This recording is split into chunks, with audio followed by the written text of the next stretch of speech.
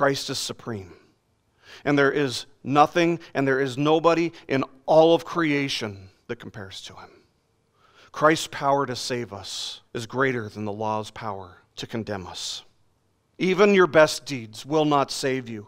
And if you're counting on your own good deeds for your salvation, if you're counting on your own goodness as your hope, it is really just a rejection of Christ. And thus, your best deeds, all of your good deeds, all they do is condemn you.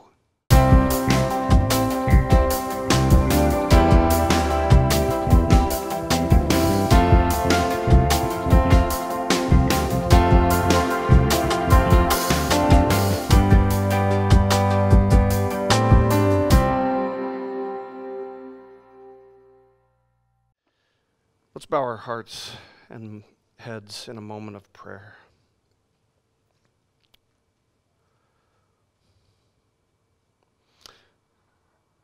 Our gracious Father, we thank you that your word is so powerful and so clear on certain things that we need to know, such as the futility of works unto salvation. The idea, Lord, that our Salvation is not contingent upon anything that we do. Because in our hearts and in our minds, we're so inclined to work for our salvation. But Lord, the passage that we look at today certainly corrects that type of thinking. And so I pray, Lord, that as we study your word, that you would draw us more resolutely to trust in Christ entirely to see our need for Him, to see the, the utter need that we have for grace and the full provision that is found in Christ.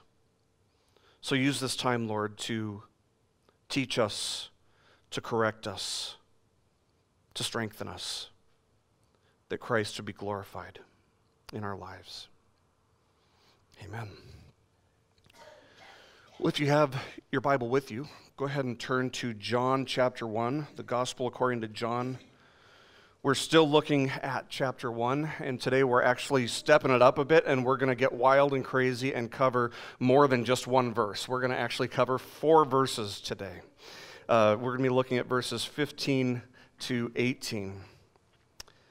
Quite a few years ago, one of the more popular uh, talk shows that you could find on TV was Larry King Live.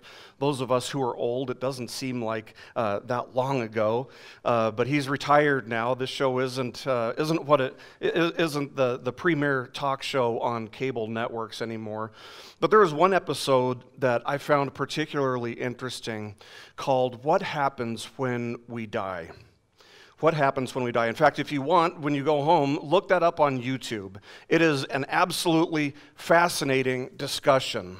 Um, it's about 45 minutes long, but it's very much worth your time to watch. And on this show, on this particular episode, Larry King brought together a panel, as he would commonly do. Uh, this panel consisting of a Jewish rabbi, a Muslim, a Roman Catholic priest, a New Age guru, and a well known and uh, and doctrinally sound Christian pastor. And while all of the panel members, except, well, there, there was an atheist too, uh, except the atheist affirmed that there is life after death, when it came to the question at hand, what happens when we die, you might think that each one of these individuals, each one of these represented uh, religions would have had a very different answer, but actually the opposite was true. There was actually something of a consensus among everyone, except the Christian pastor, and as you might expect, the atheist. What happens after we die? That was the question. Well, according to everybody except the pastor and the atheist, you'll either face rewards or punishment depending on how good you are in this life. So, the way to get to heaven, each one of them affirmed, is by good works. The Jewish rabbi said this. He said, People who live righteously with righteous conduct go to the eternal world. Admission to that world is based on righteous conduct. End quote. The Muslim added, People will go to heaven in eternity or face consequences of punishment, and this depends on good works. End quote. And of course, the New Age guru and the Roman Catholic priest offered what was essentially the same answer in a lot of words. But of course, the Christian pastor, as one of the two dissenting voices on this panel, affirmed that one's admission to heaven is through faith in Jesus Christ. And sadly, when you're talking to, to people in church, this should go without saying but in our day and age, there are plenty of people who claim to be Christians, pastors included, by the way, who think that salvation comes through some combination of faith plus works. And this reveals something that the Scripture clearly reveals, and so it shouldn't surprise us, and that is that all the religions in the world are rebellious attempts to get to heaven by some means other than the means which God has provided. Anyone who trusts in their own works for salvation is leaning on a crutch that cannot support their weight. But we saw the same thing in Jesus' day, didn't we? Isn't that what the religious leaders all did? Isn't that what they all depended on? Isn't that what they all taught? They looked to the law of Moses for salvation. They believed that if they were just close enough to following it perfectly, if they were just good enough, that their lives would be pleasing to God and they would have eternal life. But Jesus said that for this very reason, they were like whitewashed tombs. That is, they're beautiful on the outside, they're nice and clean on the outside, but on the inside, they're just full of death. Here's the problem with the idea that we get to heaven by being good enough. And the problem is this how good? How good? How good does a person have to be? I mean, the priest was actually asked that question. He had no idea. Same for the rabbi. He's asked that question, really doesn't know how to answer it. The Muslim, same thing. How many good works? I don't know. I don't know. And, and that was the question, actually, if you, if you remember from the Reformation, that was the question that drove Martin Luther to the brink of insanity. And it's the same question that anybody who trusts in their own works, in their own goodness, in their own righteousness must face and yet cannot answer. Larry King, as he's cutting the break, he, he adds his two cents. He says he hopes that 51% would be enough. The 50 51% uh, would be a passing grade on God's scale, revealing that he actually has the same misunderstanding that almost everybody on the panel had, and that is that they have not, like, like all of us, they have never done anything truly good by God's standard in their lives. So even if we say it's 51%, all of humanity on our own would be at zero. It would be grace if God said 1% is passing. No, all of us would score a zero because every single one of our thoughts, words, and deeds is corrupted by sin. So, what does God require? If it's not 51%, what does God require? 100%. He tells us what he requires. Jesus said, You are to be perfect as your heavenly Father is perfect. It's from Matthew 5 48. The truth is that if we look to the law for salvation, if we look to our good works uh, based on the law for salvation, it's like waiting for a plastic chicken to lay an egg. It's not going to happen. It's, it's just not going to happen because it wasn't designed for that purpose. No, God gave us something better than the law to save us. He sent His only Son, the Lord Jesus Christ, to uphold and fulfill the law on behalf of all who would forsake every effort for earning their salvation by their good works, and instead of that, placing saving faith in Christ for salvation. So, as we continue our study of the gospel according to John today, we're going to be looking at what you call the preeminence of Christ. Now, I, understand most of you kids, you, have probably never heard the word preeminent. Uh, it, it's kind of a big word. We don't use it a lot, so you, you, probably don't need to remember it for everyday conversation. But when you're talking about Jesus, it's a good word to know how to use, and your friends will ask, What does that mean? So you'll get a chance to talk about Jesus with them. If you're not familiar with the term preeminent, the dictionary definition is this quote, surpassing all others very distinguished in some way. And of course, when we're talking about Jesus, he certainly surpasses all others, and he's distinguished in every way.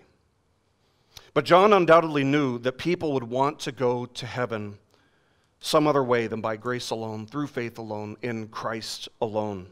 John's already told us in the previous passages all this great information about Jesus. And in the previous verse, he told us that Jesus is the unique Son of God, that there is nobody else like him. There is nobody else who qualifies to save us. It's only Jesus. But he's not only unique, he is also preeminent. That is, he is supreme. He surpasses all others. He's better than any other alternative. He's the only one who's qualified to save us. He's more distinguished. He's more righteous, more just, more holy, more worthy than any and every other historical figure. And that's the point of our passage today. Because Jesus is preeminent, because he is supreme over everything and everyone else, only Jesus is worthy of our devotion and our worship. So in verse 14, John told us, We saw his glory. Speaking about Jesus, we saw his glory, glory as of the only begotten from the Father, full of grace and truth. And John's going to expound on that in the verses that follow by holding up some of the things, some of the alternatives that people commonly trust in other than Christ for salvation as a means of showing us, as a means of John the Apostle showing us that Jesus is preeminent, that Jesus is supreme, that Jesus is greater than all. So let's look at verse 15 together.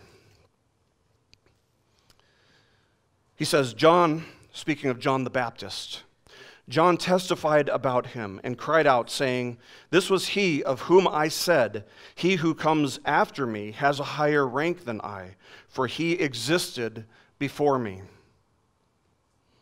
So, John the Baptist was a prophet, uh, he was a preacher. Uh, an evangelist who had quite a following, and rightfully so. I mean, uh, this was a guy who was bold. This is a guy who had courage. This is a guy who was willing to say what needed to be said. And he was also a guy who spoke on God's behalf after 400 years of silence between God and Israel. He courageously called people to repent. He boldly spoke out about the corruption and the hypocrisy of the religious leaders. John the Baptist even confronted the king, King Herod, about this about his sin, which ultimately, as we know, led to the death of John the Baptist. Now, it would have been easy for people to think that John the Baptist was worthy of the highest honor and the highest esteem. Jesus called him the greatest of the prophets. And in our day, and age, when we think about this, in our day and age, there are so many celebrity pastors and celebrity teachers out there. And part of that is the internet, part of it is uh, Christian bookstores. But there are tons of celebrity pastors and teachers out there. And I think we're all at least somewhat prone to make the same mistake. To make the mistake of following those people and setting our eyes on those people rather than setting our eyes on Christ. But what we see here in verse 15 is that John the Baptist wanted nothing to do with that. He didn't want all the praise, he didn't want all the accolades, he didn't want all the attention. John the author tells us what John the Baptist said. He said, This was he of whom I said, Who comes after me has a higher rank than I, for he existed before me. In other words, even before this point, even before he, he's, he's preaching in front of all of his followers, and even before he sees Jesus, he, he's been telling them that there's coming somebody who's greater than he is. So they shouldn't be following John the Baptist, they should be following the one who was greater than he was, who existed before he did. Now, this had to be kind of a weird thing to say. Kids, would you say of somebody who's younger than you that they came before you? Wouldn't that be weird? That doesn't make any sense, does it? It doesn't make sense when we're talking about somebody who's 100% human. But what we have to understand is that Jesus, John is saying that Jesus is pre existent, that he exists eternally. Because if you knew anything about John and, and Jesus, you, you, know, you know, first of all, that they're cousins, but you also know that John was actually born before Jesus. And not only that, but John the Baptist's ministry began before Jesus' ministry. So when John says he existed before me, he's clearly making a statement about Jesus being God. He's clearly referring to Jesus being God incarnate. Because there's just no other way that John could say that Jesus existed before he did.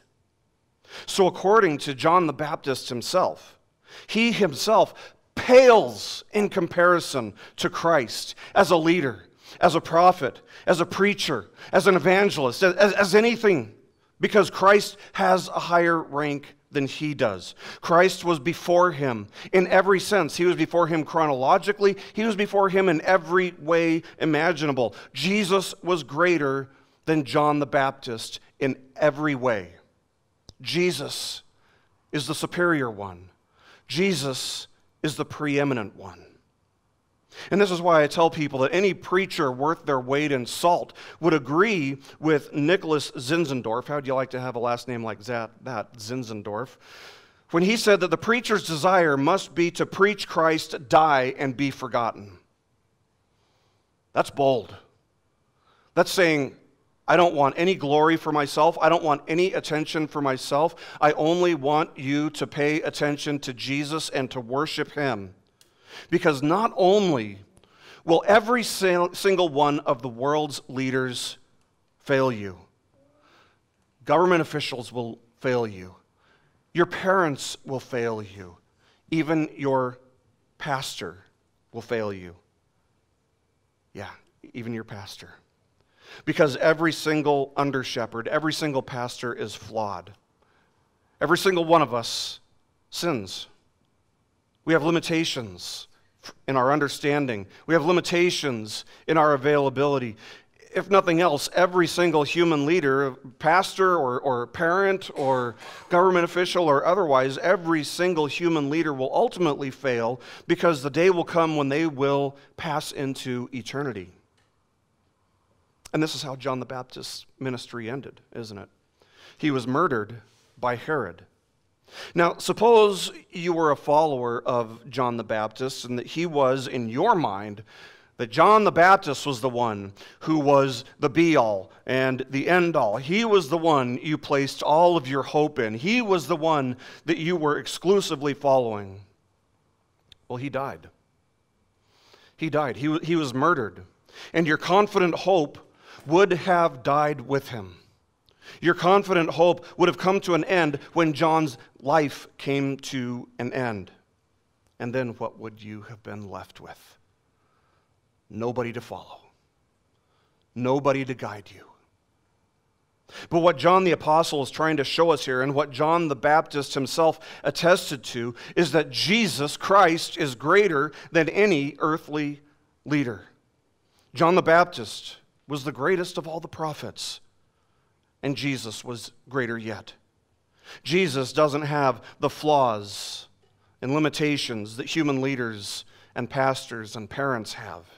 He doesn't have a lacking in understanding like they do in any way, shape, or form. And death did not bring an end to the ministry of Christ. Instead, Jesus conquered death he rose again on the third day in order to prove the sufficiency and the acceptability of his atoning work on Calvary.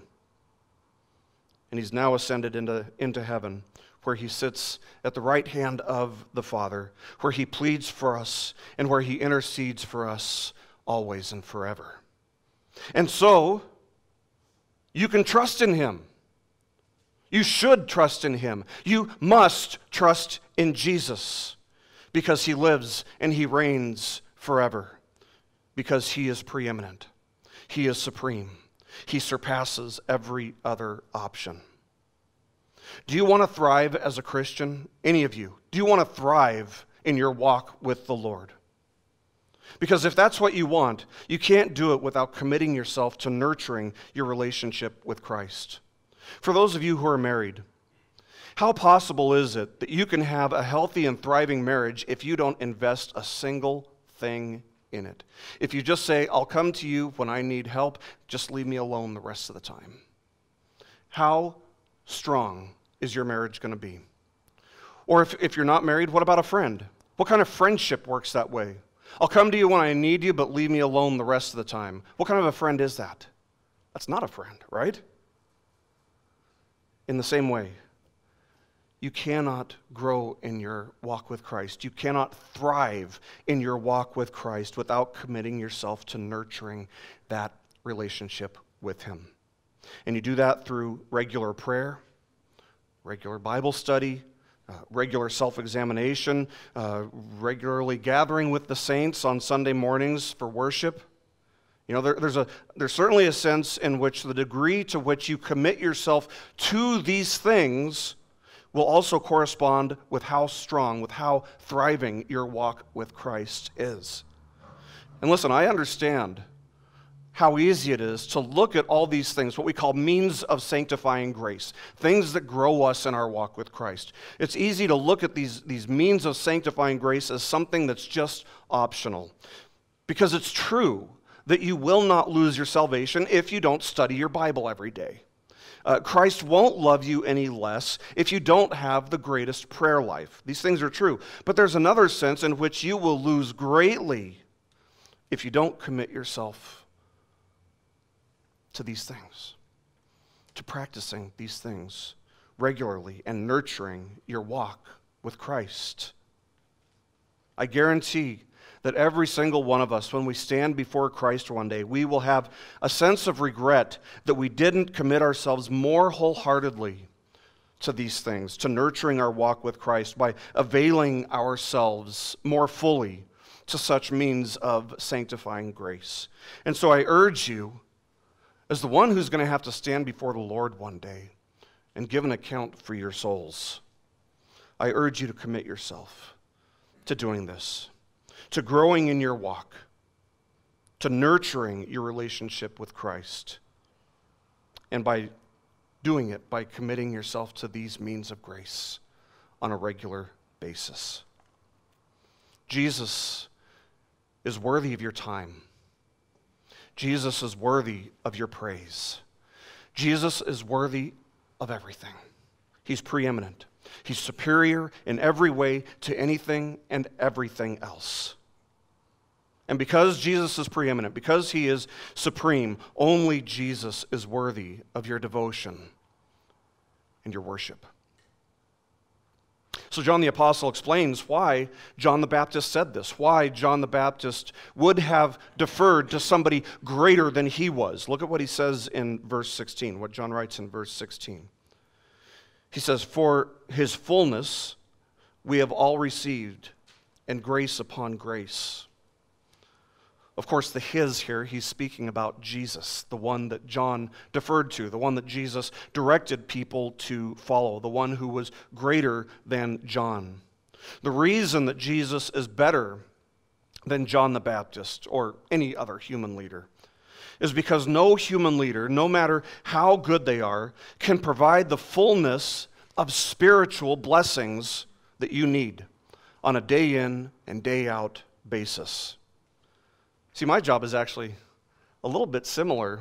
It's, it's basically the same as John the Baptist's job. It's not to provide you with the fullness of blessings. Rather, my job is to point you, to redirect your attention to the one who can provide to you the fullness of spiritual blessings that you need every single moment of the day. And when we understand this, we understand that when we're talking about the fullness of blessings, it means there's never been a situation, and there's never going to be a situation in your life in which Jesus has no ability to provide you with exactly what you need in that moment. And it's all by grace. It's all by grace. John says, We have all received this fullness of grace. And of course, we saw last week that in one sense, all of humanity has received grace. We called that common grace. Uh, the rain falls even on the righteous and the wicked, right? But I think that John is speaking more specifically here about the fullness of grace that is only available to those who put their faith in Christ for salvation. The phrase that John uses to explain the all sufficiency of what Christ is capable of providing for us is grace upon grace. You see that? Verse 16 grace upon grace. And that's a really interesting phrase. Literally translated, it would say grace for grace, uh, which I think is probably a better translation, but it doesn't make as much sense. See, the Greek word that's translated upon or, or for here uh, almost always means in place of. So, what this implies then is that for those who are in Christ by grace alone, through faith alone, for those who have put their hope for salvation in Christ alone, there's never going to be a time when Christ can't provide. There is a never ending provision of grace and heavenly blessing for us.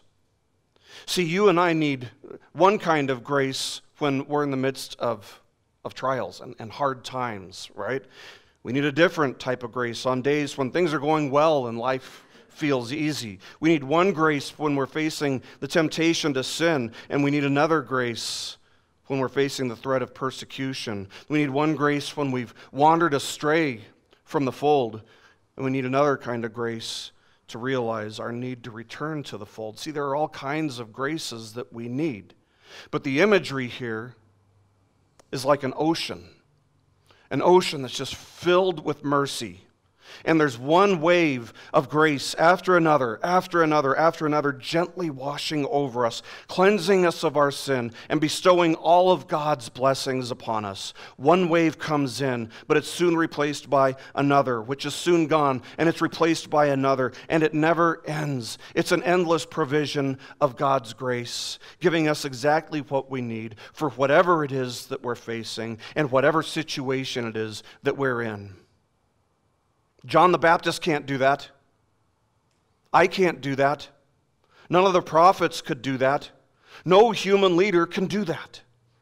But Jesus, who is full, that's one of the key words here. He's full of grace and truth, and who knows you better than you know yourself. He knows what you need better than even you know what you need. He can do that. He can provide you with the grace that you need. And He lavishes. He doesn't just give us a, a minimal amount, He lavishes His grace upon His people with an infinite supply. And it's for this reason I can say with all confidence that every Christian's life, every single Christian's life, is a testimony to this reality. Every Christian's life bears witness to the fact that in Christ, Christ, we receive grace upon grace, endless demonstrations of God's good and gracious providence unto us in Christ. Paul says in Ephesians chapter 1 verse 3, he says, "Blessed be the God and Father of our Lord Jesus Christ, who has blessed us with every spiritual blessing in the heavenly places in Christ." He doesn't say he's going to bless us with every heavenly blessing. He says He has. It's a done deal, it's ours. Every blessing, nothing held back from us, and it's only in Christ. Christ is preeminent. Christ is better. Christ is greater. Christ is supreme. And the tragedy that we so often see, in which I fear we, we all too easily become so used to, that it no longer strikes us as tragic is that there are so, so many people who want those things, who want love, who want joy, who want acceptance and peace, who want to see that there's some kind of deeper meaning to their life that's greater than they can imagine, and yet they refuse to turn to the one, to the only one who can truly provide these things. When the people around us prefer to find these things in the world, to find their meaning and to find joy and peace in the things of the world rather than in Christ, it's like preferring to drink water from a toilet instead of drinking water from a fresh fountain. When Jesus was talking to the Samaritan woman, which we'll probably study uh, you know, in a few months, he speaks of, of drawing water from a well, but he likened drawing from the well to looking to the world for what only Christ can give. He says this to her. He says, Everyone who drinks of this water, he's pointing to a well, right? Everyone who drinks of this water will thirst again, he told her.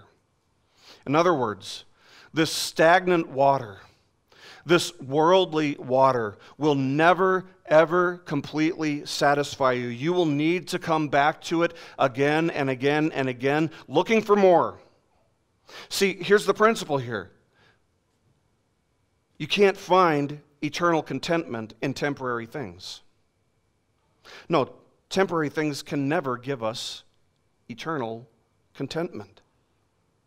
But it's the temporary things that we're so inclined in our flesh to rely on, to look to for contentment, for peace, for love, for acceptance.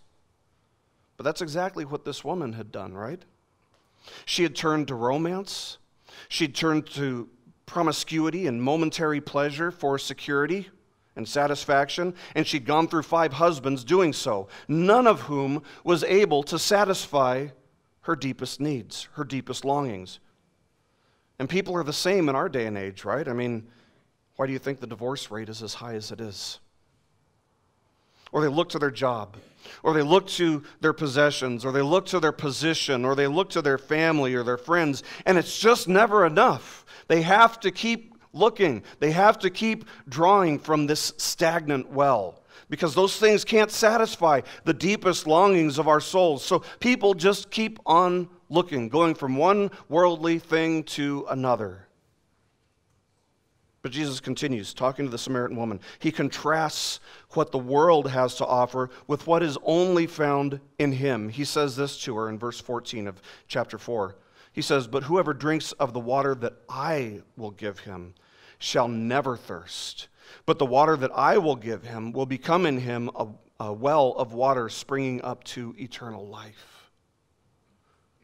See, temporary things cannot give us eternal contentment.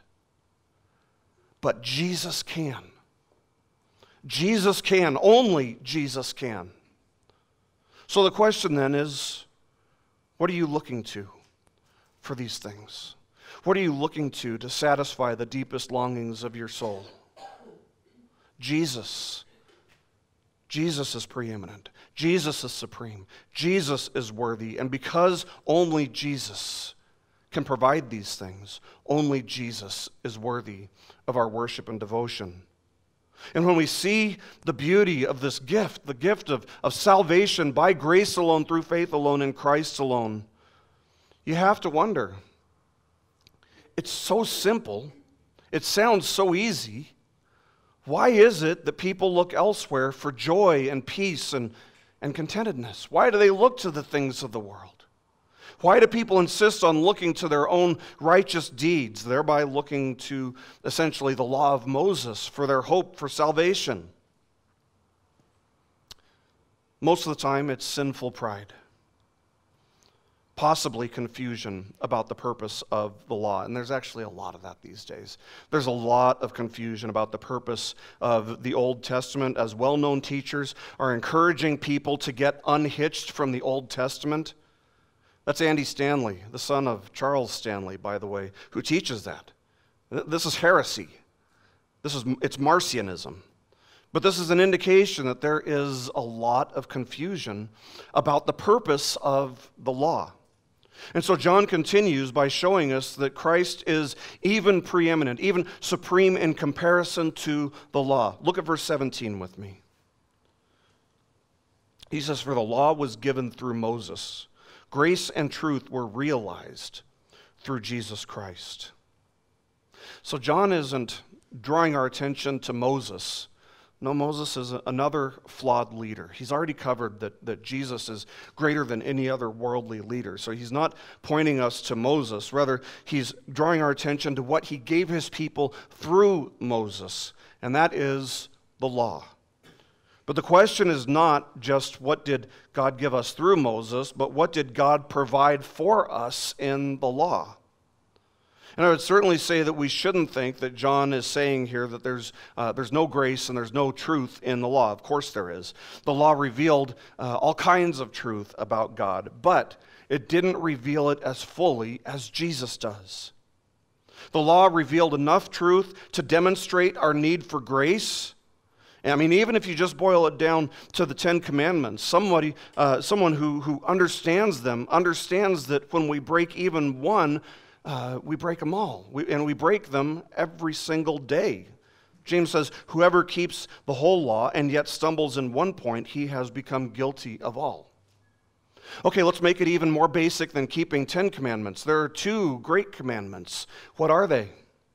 That you would love the Lord your God with all of your heart, soul, mind, and strength, and that you would love your neighbor like yourself.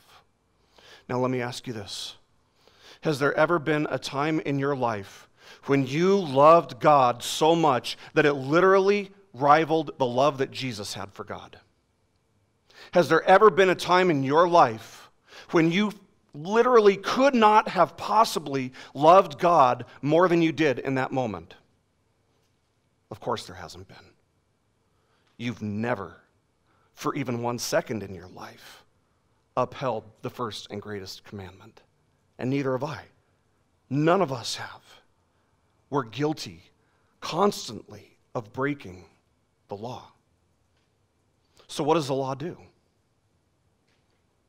It condemns us. It condemns us, it curses us. Paul would say to the Galatians, For as many as are of the works of the law are under a curse. For it is written, Cursed is everyone who does not abide by all things written in the book of the law to perform them. See, the law did and, and does serve a purpose. It reveals what pleases God, for one thing. It reveals what he loves. It reveals uh, what he hates. It reveals what he demands. It reveals the holiness of God. It reveals the wrath of God against sin. And it shows us over and over and over again that our lives are so corrupted by sin, that our lives are filled through and through with sinful thoughts, words, and deeds. Under the law, we have to remember God's blessings come as a reward for obedience. What does the law say? In essence, it says, do this and, and you'll be blessed. Do this and, and live. Do this and, and, and you'll receive God's blessing. But if you failed, if you fail, if you, if you don't uphold it all, you're cursed. See, the law promised blessings as a reward for perfect obedience, but it didn't offer any help for obeying perfectly. As the famous evangelist and preacher George Whitefield once preached, he said, Get to heaven on your own strength? Why, you might as well try to climb to the moon on a rope of sand. A ridiculous idea. And it's as ridiculous, the point that he was making is it's as ridiculous as trying to get your salvation through your good deeds, through adhering to the law. The law provides condemnation, but it doesn't provide salvation. In contrast to the law, Jesus brought a salvation that is received by grace. By grace, not by perfect obedience. He's the one who was perfectly obedient.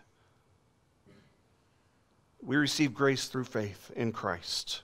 The law was never intended to be a road to salvation. Rather, it's a mirror it's like a mirror, which when a person looks into it, when you study it, when you, when you understand it, you see it reveals your utter filth, your utter sinfulness. It's a mirror, and it was, as Paul called it, a tutor. A tutor. Paul says in Galatians 3:24, "Therefore the law has become our tutor to lead us to Christ, so that we may be justified by faith." Have you guys, have you kids ever been driving on the road and you see a sign uh, that says if you want to go to this place, you need to turn left, or if you want to go to that place, you need to go straight? See, the law is like one of those signposts that tells you which way you need to go if you want to get to your destination. It's a tutor that leads us to Christ. A.W. Pink wrote of how the law reveals what is in the heart of man, but how grace reveals what is in the heart of God. The law demanded perfect righteousness of, of man, but grace, by grace, God gives us perfect righteousness. He imputes the righteousness of Christ to us. He lays our sin on Christ, and He lays Christ's perfect righteousness on us. The law is a judge that sentences us to death, but grace rises, raises us with Christ to new life. The law shows us what we must do to be accepted by God, but grace shows us what Christ did in order that we might be accepted by God. Which would you rather have, the law or Christ? It's, it's a no brainer. Jonathan Edwards said this. He said, Almost every natural man who hears of hell flatters himself that he shall escape it because of what he has done, what he is now doing, or what he intends to do. The foolish children of men miserably delude themselves by having confidence in their own strength and wisdom. End quote.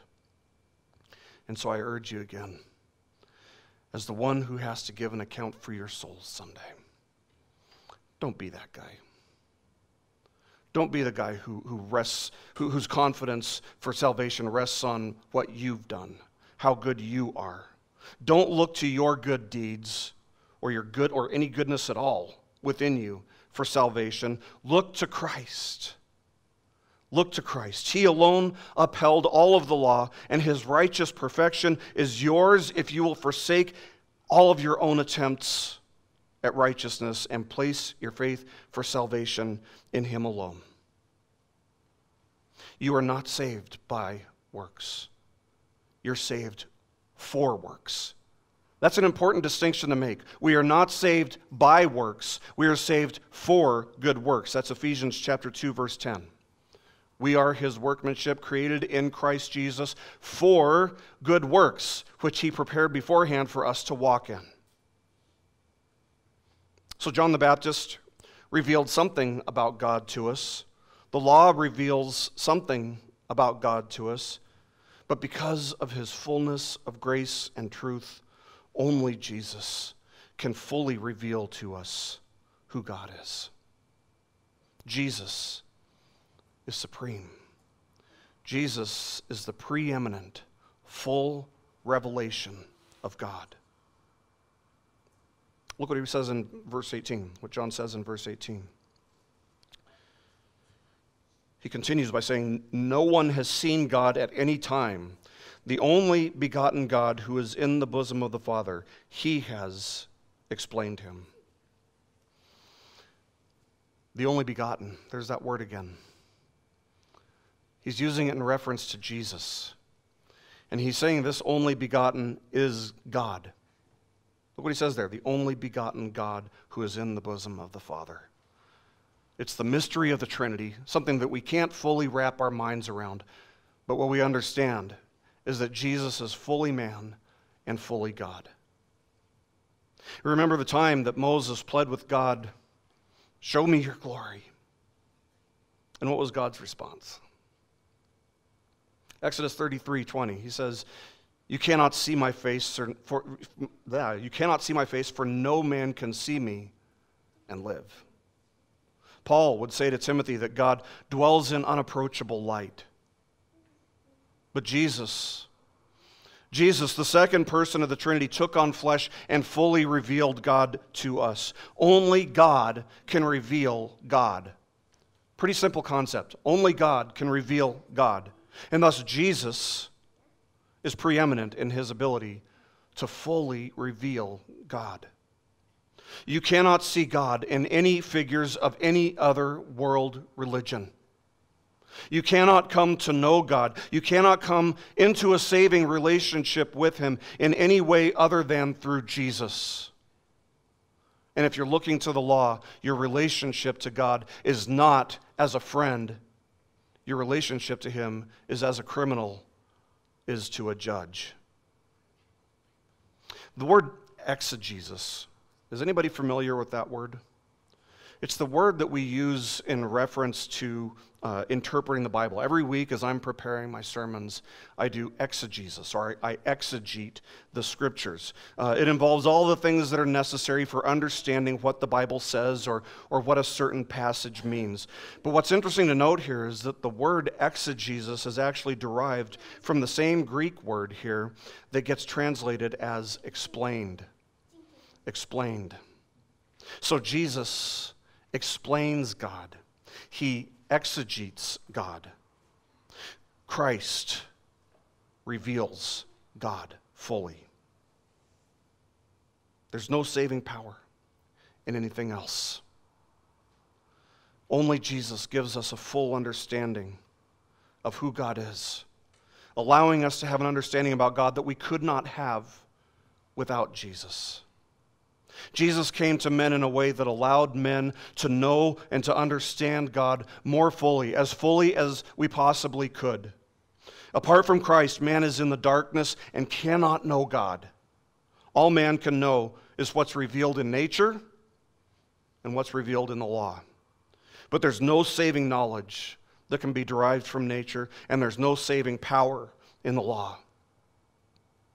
Only Christ can reconcile man to God. Because only Christ fully reveals God. Christ is preeminent, Christ is supreme. And there is nothing and there is nobody in all of creation that compares to him. Christ's power to save us is greater than the law's power to condemn us. The truth is that good deeds are necessary for your salvation, but the problem is that none of us have good deeds. Even your best deeds will not save you. And if you're counting on your own good deeds for your salvation, if you're counting on your own goodness as your hope for heaven, it is really just a rejection of Christ. And thus, your best deeds, all of your good deeds, all they do is condemn you, they do not save you. Only Jesus can save you. He is our preeminent, our supreme Savior.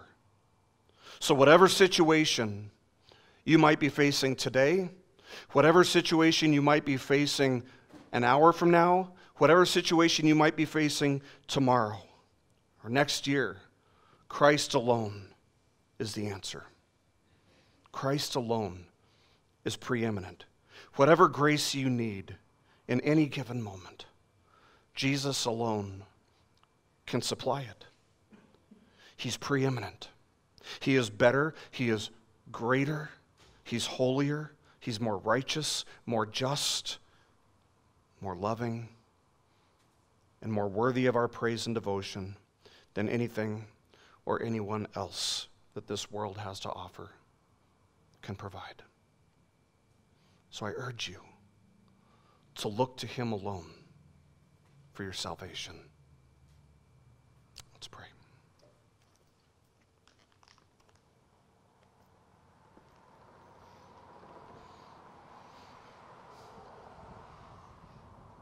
Our Father, we thank you for your word. And we thank you that your word speaks so clearly to the futility of our own efforts to work, the pointlessness, the rebellion that's behind it. Lord, we pray that you would teach us to forsake every effort, everything that we might perceive as good within ourselves and look only to Christ. And it's such a struggle. But thank you that you provide grace upon grace that in every situation, your grace is like an ocean washing over us, giving us what we need, sustaining us, providing for us, lavishing us with your grace. Were it not for your grace, Father, we would fall away before our next breath. And so we thank you that your grace sustains us. We thank you that it's by your grace that you drew us to Christ and that we found redemption in Him. Thank you for the blood that was shed for the remission of our sins.